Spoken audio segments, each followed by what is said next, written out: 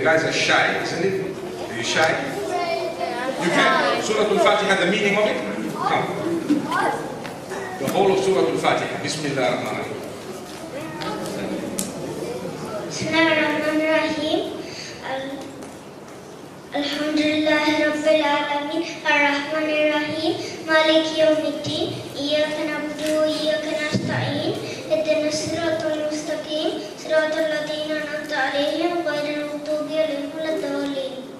Ah, Ameen. MashaAllah. And in English?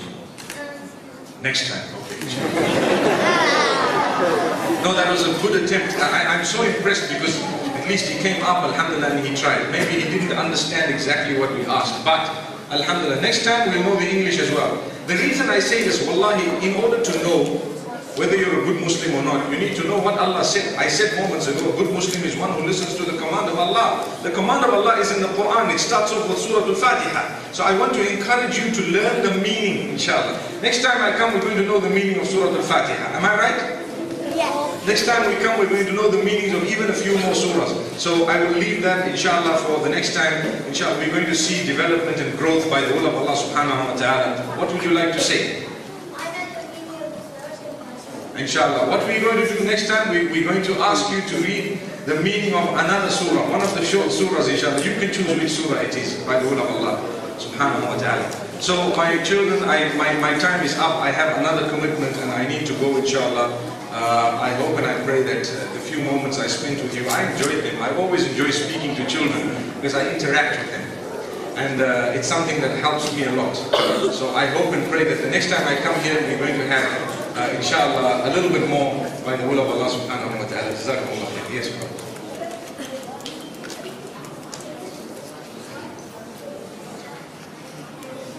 What's your name? I am Yafi. MashaAllah. Tabarakallah. Okay, sit down. Okay, um, Alhamdulillah. MashaAllah. Well done, well done.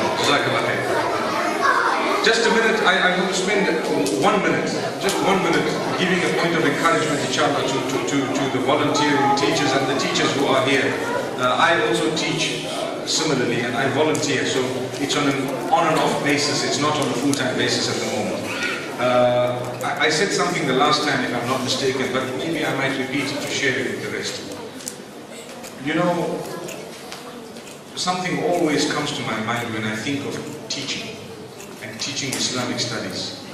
Something very powerful comes to my mind. You know, a lot of us are volunteers. We volunteer, we want to teach. Uh, after the Battle of Badr, after the Battle of Badr, there were captives, those who were taken captive by the Muslimin. And one of the means of them achieving their freedom, and you know that kuffar, for them, uh, for them, this worldly life is a paradise. They do as they please. It's a jungle. So they were told, look, you are captive, and if you would like to achieve your freedom, which is more or less your paradise, you need to teach 10 of our children or our people how to read and write. I'm sure you've come across this. So 10 learn how to read and write, and then you can go. That's what they were told. That's what they were told. And some of them did, and some of them actually went. They were freed after that. So the point I want to raise is very powerful, and that is these people were teaching, these were non-Muslims teaching something that was not Islamic studies. It was how to read and write to Muslims, 10 of them, just 10, and then you can walk free, you can have your paradise. So don't you think that with us, we are teaching Islamic studies, and we are going to teach inshallah more than 10 people. Don't you think that Allah will grant us our paradise by His mercy as a result? And because of that, and I firmly believe that Allah subhanahu wa ta'ala knows what's happening. It's not easy to teach children, it's becoming more and more difficult. You take a look at, for example, you know, the, the unruliness as time passes, as advanced as we're becoming, even the adults are unruly today. I, was sitting and watching the House of Commons in the UK at one stage, and I saw big MPs and the way they operate and laugh and joke and clap hands, and, and, and you won't believe this is actually a parliament. Allahu Akbar. May Allah subhanahu wa ta'ala grant us an understanding. Obviously, it's their way of doing things, and I'm not saying it's right or wrong, but it's surprising to us to see something that we wouldn't ever imagine and believe was, you know, uh, the, the conduct of people who are supposed to be legislators. So, getting back to my point, and that is, subhanAllah, if a person teaches the deen, they will achieve so much if by the will of Allah subhanahu wa ta'ala. Maybe that will be their entry into paradise. If those people were granted their own paradise because of 10 people with us, inshallah, it will continue and continue. And this is why the hadith even speaks about how the continuation, known as sadaqah jariyah, you know, that charity which is continuing is connected to ilmun nafi'. You know, person who's left behind knowledge. That knowledge which is going to be, which is beneficial and others have benefited from, inshallah, they will be able to achieve a full reward of that and of all those who have benefited thereafter. Someone who taught me will get a reward for the person I taught. You see, because they taught me.